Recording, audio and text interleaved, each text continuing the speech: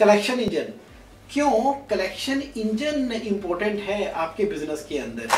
Cell आप कर रहे हैं। क्या सेल आपने कर दी? कस्टमर से आपने मनी लेनी है। तो क्या वो मैकेनिज्म आपकी कंपनी में एग्जिस्ट कर रहा है कि ऑन टाइम एवरी टाइम आपको कलेक्शन होती रहे?